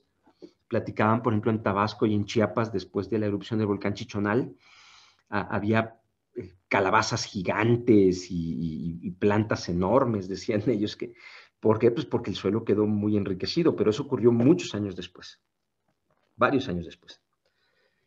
Y aquí vemos, por ejemplo, esto, ¿no? Este, nuevamente utilizo el mismo ejemplo de la ceniza volcánica sobre, sobre un cultivo, eh, una plantación de plátanos, ¿no? Entonces, eh, ¿cómo puedo saber cuál es la pérdida en este caso? Lo que puedo hacer es generar nuevamente una eh, línea base. Entonces comparo lo que había antes, la supuesta evolución que iba a tener el sector antes del desastre, y lo que ocurre ahora. ¿Qué quiero decir? Si antes cada, o la región, puede ser a veces a nivel de la región o puede ser a nivel de, eh, por hectárea, si antes esta plantación de, plátano producía 100 toneladas por hectárea, estoy poniendo un número sin saberlo, producía 100 toneladas por hectárea. Eh, y el próximo año, en vez de producir 100, produce o, este mes en vez de producir 100 produce 50. Entonces la diferencia entre los 100 que se podrían producir, la supuesta evolución que iba a tener el mercado, el sector, y lo que está ocurriendo, esa diferencia es la que le puedo yo denominar la pérdida. Entonces, si cada hectárea producía 100 toneladas y tengo estadística que me dice 100 toneladas, 100 toneladas, 100 toneladas, 101, 120, 85, es decir, en promedio ocurrían 100 toneladas y ahora ocurren 40. Esa diferencia eh, de producción es la que voy a considerar en la pérdida. Y de repente resulta difícil hacerlo en el momento porque pues cuando haces tu primera evaluación no tienes claras las pérdidas, pero sí, con base en los datos históricos, pues tú puedes eh, prever y darte cuenta, por ejemplo, en este caso, si estos son eh, agricultores, este, pues no van a, bueno, el que está muerto no, ¿verdad? Pero los demás no van a poder regresar a, esas tierras, ¿no? Y van a requerir otro tipo de apoyo. Entonces, eh, la línea base es muy útil, ¿no? Entonces, algo bien interesante es que si comparamos los desastres que ocurren en lo local con los indicadores económicos nacionales, eh, a veces es muy difícil eh, identificar el verdadero impacto cuando lo comparas con lo nacional. ¿Qué quiero decir esto, con esto? La mayoría de los desastres en México no rebasan el 1% del Producto Interno Bruto. a nivel nacional, excepto dos casos que ya los acabamos de ver. Uno fue el H1N1, que sí rebasó eso a nivel nacional, y lo estamos viendo ahorita evidentemente. Hay, varias cifras, yo todavía no he visto el dato exacto, pero eh, puede ser entre el 8 y, el 15, no sé, por allí está el, el, cálculo. Y hasta que no haya datos oficiales no podemos decirlo con claridad, pero eh, la COVID-19 nos va a provocar un impacto en el Producto Interno Bruto, en la riqueza que produce todo el país, eh, que podría ser gigantesco, ¿no? Entonces, a nivel nacional, ningún desastre había provocado más allá del 1% de, de daños y pérdidas del Producto Interno Bruto. Por ejemplo, el de Tabasco no rebasó el 1% del Producto Interno Bruto Nacional, pero sí fue eh, entre el 25 y el 30% del Producto Interno Bruto Estatal. Es decir, para las familias en el año 2007, para las familias que vivieron la inundación de prácticamente casi todo el estado, eh, el impacto fue tan grande que fue el 30%. Entonces, lo que nos dice el manual que eh, hay que tener mucho cuidado, porque cuando el efecto del desastre se compara con algún indicador económico nacional, como por ejemplo el Producto Interno Bruto, no se aprecia su verdadera dimensión en el ámbito regional o local, porque en la práctica pues, puede ser eh, distinto, ¿no?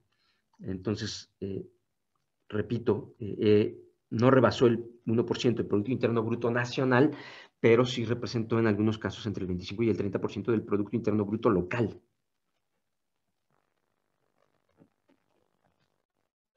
Entonces, los, esto es bien interesante también. Dice, porque los eventos están confinados a un determinado espacio y afectan indirectamente al resto de la economía a través de los vínculos del sistema local con el sistema nacional. Es decir, somos un sistema y lo que se produce en un lugar, eh, sobre todo platicábamos la otra vez de las cadenas de suministro, veíamos que todo está interconectado. Y por ejemplo, un caso bien interesante, cuando vino el sismo y tsunami de, Japón, los japoneses eh, han concentrado en algunas zonas la producción de eh, piezas de electrónica muy fina, muy sofisticada. ¿Y qué fue lo que ocurrió? Que cuando viene el sismo y el tsunami, se dañan las fábricas y los talleres que producen estos componentes electrónicos, que exportan a todo el mundo. Entonces la industria eh, electrónica a nivel mundial entró en crisis. Entonces, si bien es cierto que, como dice aquí, el evento ocurre en un espacio determinado, las pérdidas pueden transferirse a lugares muy lejanos dependiendo del número de vínculos, qué tan conectado está el lugar eh, para transferir las pérdidas hacia otros lugares. Caso similar con el tsunami de Indonesia le ocurrió a Toyota y así podemos ver que eh, al estar conectados los nodos de las cadenas de suministro pues lo que ocurre en un lugar puede tener impacto eh, muy lejos a través de eh, estas cadenas de suministro y de los vínculos que existen entre el sistema local, el sistema nacional o, el sistema de producción internacional. Y bueno, decíamos nosotros que nuestro trabajo consiste en hacer esta evaluación. Y para ello, en el documento, este, nosotros decimos, bueno, hay daños y pérdidas que están ocurriendo, que han venido ocurriendo. Levantamos los datos a través de varias metodologías que vamos como, como una, eh, de, lo general a lo particular, nos vamos acercando, organizamos todo para poder obtener los datos. Esto debe de estar en un sistema de información, debe ser analizado para generar el conocimiento suficiente. Eh, y finalmente, bueno, vienen las decisiones de emergencia, recuperación y reconstrucción que se deben de hacer lo más cercana a los afectados para que al final podamos eh, satisfacer las verdaderas necesidades y requerimientos que tienen las personas en sus imperativos humanitarios y para dejarlos en una condición donde no se vuelvan dependientes, donde no sean víctimas, sino que sean actores. Y la diferencia entre una víctima y un actor es que la víctima eh, es un objeto de nuestra atención, simplemente es como un depósito al que le echamos ahí las cosas que se nos ocurran, y un actor participa en el diagnóstico, participa en la decisión, pone de lo suyo, pone su esfuerzo y al último sale empoderado eh, eh, después del evento, ¿no? Y entonces platicamos que hay un ciclo de la inteligencia donde hay un requerimiento. Si se dan cuenta, cada sector tiene un requerimiento distinto. El sector población, pues necesitamos saber eh, cuántas personas se vieron afectadas, pero eso no nos dice lo suficiente necesitamos saber qué edad tienen, necesitamos conocer sus capacidades, sus vulnerabilidades, capacidades y vulnerabilidades, es parte de, la ecuación, y por supuesto sus necesidades inmediatas, ¿no? No son lo mismo las necesidades de esa bebé que está en los brazos, en los hombros de su mamá, que la señora ya grande que va caminando ahí. Entonces tienen necesidades distintas, capacidades distintas y vulnerabilidades distintas también. Eh, pero cuando ya vamos a hablar de los daños, para calcular en términos económicos el daño, y una vez que tengas el daño, poder transformarlo a decisiones de reconstrucción que pueden eh, requerir más dinero o menos dinero del que había originalmente. A esta persona, por ejemplo, se le cayó su casa, pues en vez de dar una casa tan grande, le vas a dar un pie de casa para que tenga donde vivir y puede echar para adelante. Y entonces a lo mejor el daño vale 100, pero tú le vas a dar una solución eh, de 50 porque tienes un imperativo humanitario y tu propósito es que vuelva a ser productivo, autónomo y pueda este, echar para adelante, ¿no? Entonces, el requerimiento depende del sector. Cada sector va a tener un requerimiento distinto de información. Y entonces tenemos que hacer un plan de inteligencia. Primero, el instrumento se genera a partir del requerimiento. Voy a utilizar aviones, voy a utilizar eh, satélite, voy a ir al lugar y voy a censar casa por casa. Eh, ¿Cómo voy a hacer este trabajo? ¿no? Y luego viene pues ya ir al campo y recolectar los datos o recolectarlo en mapas.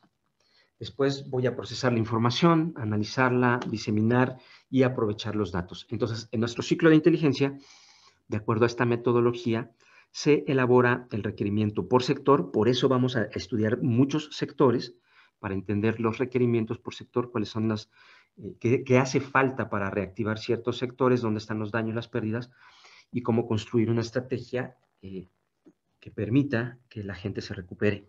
¿Por qué es importante, por ejemplo, recuperar el sector turismo? Pues porque mucha gente vive de eso, son sus empleos, ¿no? Entonces hay que entender toda la cadena y determinar, o, el sector agrícola, ¿no? Ese es más evidente. Entonces, bueno, vamos a centrarnos tantito en esto, que es lo que nos va guiando el libro. Entonces yo les planteo estos eh, modelos genéricos, teóricos, de cómo se hace el trabajo y ya después lo vamos viendo en este caso. Podemos aplicar este caso, podemos utilizar casi a cualquier caso, el ciclo de inteligencia es básico. Entonces, eh, eh, algo muy importante. Una vez que hago mi requerimiento, ¿dónde voy a sacar la información? ¿Quiénes son los informantes? Para que después vaya a buscar esos informantes y recolectar el dato. Entonces, el documento nos dice que hay informantes estratégicos y dice, independientemente de que la organización para la emergencia y rehabilitación sea centralizada o descentralizada, la persona encargada de hacer la estimación en un sector debe ubicar desde el inicio una red de organismos nacionales, agencias nacionales o internacionales, centros de investigación y personas claves que nos puedan dar la información.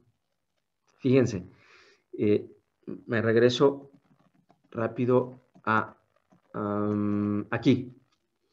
¿Dónde puedo obtener los datos? ¿Qué les parece si veo el censo económico? ¿Qué les parece si me reúno con los productores de plátano de esta región? Y entonces puedo obtener datos porque son informantes eh, estratégicos, ¿no? Informantes clave. Por lo tanto, eh, cuando voy a hacer la planeación, por eso estoy aquí, cuando voy a planear, Primero tengo que tener bien claro el requerimiento y luego tengo que ver cuál es el instrumento y a quién le voy a pedir el dato o dónde voy a conseguir el dato o si lo voy a hacer una línea base a partir de imágenes satelitales del antes y del después, ¿dónde las voy a conseguir? Por ahí decían Google Maps, Google Maps tiene una calidad malísima. Entonces, ¿dónde puedo conseguir imágenes, no? Que me sirvan para esto. Entonces, es parte, en el Atlas Nacional de Riesgos a veces hay, buena información. Entonces, para hacer la planeación, pues tengo que definir quiénes van a ser mis informantes, ¿no? Y cuál es la característica que busco en ellos, que sean capaces de proporcionar la información que ando buscando. Y aquí es bien importante el primer paso. Entonces, requerimiento. Si yo no sé lo que ando buscando, si yo no sé la información que me importa, pues nunca voy a identificar a quién le voy a preguntar o quién va a ser mi informante estratégico, porque de entrada no sé qué busco. Y el informante estratégico es aquel que es capaz de proporcionarme la información que busco y que además puede ser que tenga la autoridad suficiente para solicitarla. A lo mejor él no es el que la tiene, pero él puede, eh, es la autoridad, es el jefe del sector y entonces puede construir la metodología acompañada por nosotros para conseguir los documentos o para hacer un censo o para conseguir el dato que nos está haciendo falta. Entonces, repito, el ciclo de inteligencia va paso por paso, no nos los podemos brincar. No podemos ir a ver qué encontramos. O sea, sí es bueno asomarnos, ver rápidamente cómo está la situación, pero construimos inmediatamente el requerimiento. ¿Qué quiero saber? Dependiendo del sector que estoy evaluando o lo que me toca hacer a mí. ¿Qué quiero saber? Esa es la primera pregunta. Y la segunda es, eh, ¿quién me puede dar el dato, no? Y puedo construir el plan de inteligencia que implica primero tener el instrumento. El instrumento va a ser una encuesta, va a ser un qué. Y después eh, voy a recolectar. Algo muy importante es tener comunicaciones. Eh, para conocer antecedentes de las zonas distantes y de difícil acceso, con frecuencia la única alternativa es recurrir al teléfono, al internet, al radio. Es decir, podemos hacer entrevistas remotas, ahorita ya tenemos el Zoom, podemos hacer algo totalmente distinto, eh, dado que una de las primeras medidas es el restablecimiento de las comunicaciones. Entonces es muy posible que algunos de estos medios estén en el, funcionamiento, ¿no? Algo que em, recientemente tuve la oportunidad de, proponer y de aportar era que para todos los sectores deberíamos tener pues ya los instrumentos preparados, incluso eh, algunas plataformas, ¿no? Existe RFonden, que es una plataforma muy útil. Eh, tiene eh, ya instrumentos de evaluación de vivienda muy bien elaborados. Bueno, más bien Sedatu, este, que, es lo que era la Subsecretaría de Desarrollo Urbano y Ordenación del Territorio cuando yo trabajé en Cedesol. Pero bueno, entonces se tienen algunos instrumentos. Entonces, evidentemente uno de los primeros propósitos es recuperar las comunicaciones. Entonces, si están en funcionamiento, pues tenemos que conseguir el dato, pero para eso tenemos que tener previamente, regreso, si no tenemos un plan, un requerimiento claro, no hay un instrumento claro para hacer la encuesta, la entrevista, lo que tengamos que hacer para conseguir el dato, si no hay eso, cuando tú vas a hacer la recolección, pues de qué te sirve estar conectado si no sabes ni qué preguntarles, si no sabes qué dato te hace falta, si no has trabajado previamente con los actores, ¿no? Entonces, eh, esta estrategia es algo que yo veo que todavía no se ha construido de manera muy eficaz a, nivel nacional, ¿no? Muchas decisiones estuvieron muy centralizadas, pero yo veo que, hay condiciones para hacerlo. Ahora, ¿qué ocurre si no te puedes comunicar? Si no te pueden traer el dato eh, electrónico o no te lo pueden mandar por internet. O no funciona el teléfono. Pues la inteligencia puede moverse a partir de otros medios, ¿no? Los mensajeros. Si tú dividiste tu territorio, ya tienes el área de afectación porque tú tienes un mapa antes de que ocurriera el desastre. Tú si eres bien picudo hiciste tus escenarios, cuadriculaste tus escenarios. Ciudad de México está haciendo un trabajo excepcional, por eso los vamos a, invitar. Eh, si tú tienes cuadriculados tus cuadrantes y tienes bien claros cuáles son las áreas que se podrían afectar y tienes bien claros cuáles son los requerimientos de inteligencia que tienes, el requerimiento, ¿qué quiero saber? ¿Qué quiero saber a los 10 minutos? ¿Qué quiero saber a la hora? ¿Qué quiero saber a los 3 días? ¿Qué quiero saber al mes? ¿Qué quiero saber en un año? ¿Por qué? Porque una cosa es lo que quiero saber inmediatamente que tiene que ver con la emergencia, el rescate y, contener amenazas. Otra tiene que ver con el proceso de reconstrucción y otra tiene que ver con el impacto a mediano o largo plazo de las pérdidas. Entonces tengo que tener muy claro qué quiero saber y cuándo lo quiero saber. Si divido eso en polígonos, unos cuadritos, cada, hay un responsable por cuadrito. Bueno, no son cuadritos en la Ciudad de México ni nunca vas a encontrar cuadritos, pero lo puedes dividir, ¿no? El, asunto es que lo divides como un tablero de ajedrez. Y entonces, en cada tablero hay un responsable que sabe que necesita mandar de información y si no puede mandarlo porque no funciona el teléfono o no tiene otra forma, ni siquiera la piloerección funciona, no puede mandarlo de ninguna manera, no hay nada que pueda hacer, pues lo montas en una bicicleta, en una moto, eh, o en un burro, en lo que tengas que montarlo, y el señor ya sabe a dónde tiene que llevar ese dato, que es donde se está concentrando la información, pero eso se construye desde antes. O sea, esta estrategia se construye desde antes. Y el único lugar donde he visto que lo está construyendo, por supuesto, faltaba más. Eh, si está ahí, eh, esta metodología la creó muchas personas, pero la trabajaron y participaron en su creación la secretaria, la, maestra Miriam Ursúa, el maestro Nordan García y, el maestro Rafael Marín, y los tres están en la Secretaría de Protección Civil de la Ciudad de México, los mejores expertos, diría yo, en México de este tema. Faltaba más, pues ya están construyendo algo. Pero aquí el tema es, no te confíes en las comunicaciones, no te confíes en tu recorrido, no creas que lo vas a poder hacer tú. Cuando hicimos el levantamiento en Iztapalapa, que, ahí participó en esa estrategia eh, eh, Enrique Guevara, el actual director del SENAPRED, y Rafael Marín, el director de prevención actual, participaron ellos en esa estrategia después del sismo para hacer eh, eh, la evaluación de vivienda, que era un tema que estaba pesando mucho. se mandaron 700 brigadas. Y en este caso usamos un teléfono celular. Pero si el teléfono celular no hubiera funcionado, pues mandas una brigada, la mandas a pie, le mandas las fotografías y los regresas en una camioneta, en una moto, en un burro, o, los regresas caminando, no lo sé. Pero lo que quiero dar a entender es que, eh, y ya me estoy yendo acá, al, proceso, a la parte de la recolección. Si yo tengo bien claro qué quiero saber, si tengo el instrumento y lo que quiero hacer, eh, si me fallan las comunicaciones, lo ideal es que pues tenga comunicaciones como nos pasó en Iztapalapa, que literalmente teníamos telefonía celular en todos lados y funcionó muy bien nuestra estrategia. Pero si no la tenemos, no tenemos, y, si no la tenemos, lo que sí tenemos es que entendemos claramente lo que queremos, a dónde vamos, y aunque nos tardemos un poquito más, podemos traer el dato y construir información y poder entender el elefante y después resolver los problemas. Entonces, tu plan debe de incluir, por supuesto, las mejores tecnologías, repito, como lo está haciendo la Ciudad de México, y, me consta porque he visto lo que están haciendo, maravilloso. Pero si no te funciona la telefonía o no te funciona nada de eso, eh, la persona que se va a hacer cargo de cada cuadrito del tablero, pues una vez que recabó la información tendrá que ver la forma de llevarla pero aquí cada cuadrito lleva la misma información, la lleva estandarizada, la lleva ordenada. Esa información viene de una eh, claridad del requerimiento sectorial, ¿no? Entonces te van mandando los datos y con esos datos tú construyes el elefante completo. Y lo haces por polígono y lo haces por sector.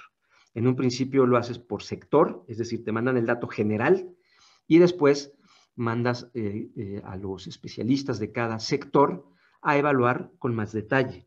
Es decir, hay un cuate que está a cargo del polígono y él dice, se cayeron dos escuelas y tres edificios de vivienda y además aquí se ve que el drenaje se falló. Entonces él levanta el dato y se regresa echó la mocha, lo, manda, lo puede mandar por su teléfono, por una app o, si no funciona todo eso, este, por teléfono y si no le va a llegar un teléfono satelital al lugar y si no, agarra su moto y se va hecho la mocha donde lo tiene que entregar, que en este caso es el C5 de la Ciudad de México, ¿no? Entonces, construyes un sistema de inteligencia que resuelva el problema. Y lo haces en diferentes etapas y evalúas eh, rápido, después y luego después de después, ¿no? Y, y lo primero que haces es levantas un helicóptero. Entonces, el reconocimiento siempre va a ser útil por tres motivos porque proporciona elementos indispensables para estimar la calidad de las fuentes que se emplearán durante el proceso de estimación. Es decir, eh, yo empiezo a explorar, reviso el lugar y digo, uy, eh, aquí voy a necesitar conseguir imágenes del antes y el después, porque no voy a poder aplicar eh, casa por casa, ¿no? O, o al revés, el casa por casa me va a funcionar de maravilla. Permite que los grupos sectoriales jerarquicen los efectos del desastre, según su propia experiencia y criterio. Es decir, el hecho de que vayan, por ejemplo, allá atrás se ve el de la luz, aquí hay un cuate que está jalando un cable, pues estos cuates ya saben de qué tamaño es el daño y cuánto se van a tardar y cómo lo van a corregir. Acá hay uno que nomás está tomando fotos, este, siempre hay turismo de desastre, pero bueno. Este, y en tercer lugar, posibilita, y, esto es de verdad muy, muy importante, la detección de daños importantes no incluidos en otras fuentes. Puede ser que de repente haya temas no sectoriales, ¿no? Les pongo casos que, de repente pueden parecer raros, ¿no? Este, en el sismo se dañaron muchas iglesias y en las iglesias se dañaron muchas este, obras de arte de nuestro patrimonio cultural, ¿no? Y eso, bueno, el INA maravilloso había, falleció, por cierto, la que estaba, la responsable de eso, una verdadera experta en desastres. Eh, pero al final para un ojo poco experimentado, esas cosas pasan inadvertidas. Entonces puede ser que de repente todo el mundo esté pensando en que hay que ponerles electricidad y hay que eh, reparar casitas y traer despensas y todo eso, pero no te puedes dejar llevar tú por eso. Entonces eh, es importante de todas maneras hacer un recorrido, un reconocimiento del lugar, independientemente de que hayas construido toda una estrategia que te traiga datos estandarizados y bien pensados. Las imágenes eh, de sensores remotos. Eh, esto que ven ahí es una imagen de radar satelital. ¿Para qué sirven los radares satelitales en inundaciones? Si yo utilizo una imagen óptica, ven que eso está todo lleno de nubes. Entonces, habitualmente cuando se inunda es porque hay muchas nubes. Y entonces hay imágenes que no te dejan ver qué está pasando abajo. En cambio, el radar satelital la imagen de radar atraviesa las nubes como si no existieran. ¿Qué es lo que haces para hacer este trabajo? Em, cada cosa que hay en la superficie tiene una respuesta eh, electromagnética distinta. Es decir, eh, si yo pongo agua, la imagen que me va a regresar, la señal que me regresa, tiene un espectro muy particular. Si la señal rebota contra un bosque, el espectro es distinto, es decir, tiene una huella espectral cada cosa sobre la cual rebota la, la imagen, la señal del radar. Entonces, si yo detecto agua y tengo la huella espectral del agua, entonces le digo a un sistema que de esta imagen filtrame todo lo que tenga esta huella espectral que se llama agua, o que yo, que yo ya identifique como el agua en esta imagen. Entonces busco un lago, busco algo, busco varios sitios donde yo sé que eso es agua, eh, veo cuál es su huella espectral y luego le digo al sistema, filtrame todos, nada más déjame ver esto. Y al último me da una careta como aquella que ven ahí atrás. Entonces esa mascarilla, esa máscara, este, me muestra los sitios que están inundados. Entonces una vez que tengo yo esto, eh, lo divido en cuadritos, ¿están de acuerdo? Puedo dividirlo por colonia, por localidad, puedo eh, por municipio también, por supuesto. Entonces, las imágenes por sensores remotos, este, sobre todo las satelitales, son de mucha ayuda, pero, este, la verdad, no son más que un acercamiento. Entonces, en primer lugar, aunque las imágenes de los satélites pueden usarse con ventajas para la evaluación del desastre de desastres originados por fenómenos como inundaciones, esto que estoy platicando, todavía no parece factible identificar por este medio los daños sufridos por la infraestructura y por las casas. Y, es decir, ¿cuántas gallinas se murieron? Pues no las puedo ver desde aquí, ¿no? Este, ¿Cuántos cultivos? Pues a lo mejor tampoco los puedo ver todos, ¿no? puedo comparar una imagen de antes y después y ver eh, cuáles caen en cultivos y a lo mejor puedo saber cuántos cultivos y entonces puedo mandar gente del sector eh, agropecuario a, evaluar esas zonas o a, evaluar esos polígonos que yo ya identifiqué cruzando estos dos datos. Pero la realidad es que eh, los sensores son muy útiles y no sustituyen. Y puedes utilizar cartografía anterior, puedes utilizar todos los mapas anteriores, por supuesto, eh, lo decíamos hace rato, tu línea base es los datos que tengo anteriores. y, habrá casos en donde pues, no te queda más que Google, Google Maps. Este, México tiene una buena cobertura de imágenes. La mayoría de los satélites este, y de las empresas que tienen satélites, pues ya tienen una biblioteca más o menos buena de, imágenes de buena resolución. Y entonces utilizo la cartografía anterior. Puedo pasar un dron como este, de baja altura. ¿Por qué el dron? Porque si, por ejemplo, esto está inundado o hay nubes, a veces desde el cielo no lo puedo ver, desde el espacio no lo puedo ver, entonces utilizo eh, un vuelo y fotografías este, que me permitan eh, tener los daños. Y entonces, repito, en algunos casos puedo comparar de manera relativamente eficaz eh, una imagen que voy a considerar mi línea base contra imágenes actualizadas. Entonces, los mapas constituyen una ayuda indispensable por lo que se, deben, se deberá tratar de obtenerlos desde el principio. Particularmente eh, son aquellos que se han levantado con información sobre los efectos del desastre, aunque es necesario asegurarse de utilizar los mapas vigentes, actualizados, al momento de hacer la estimación. ¿no? Entonces, de línea base utilizo eh, la imagen más actual, y eh, para compararlo con el daño, pues actualizo con, otra imagen satelital cuando se pueda, pero si está lleno de nubes, puedo meterle eh, radar satelital o puedo utilizar este, drones en algunos sitios y, luego lo comparo y con eso puedo hacer mi estimación. ¿no? Finalmente, ya casi para terminar esta sesión, por supuesto los cuestionarios son un instrumento. ¿Por qué? Porque hemos venido discutiendo en, la otra materia que no podemos hacer nada sin la gente. Este, que no podemos eh, reconstruir sin incluirlos.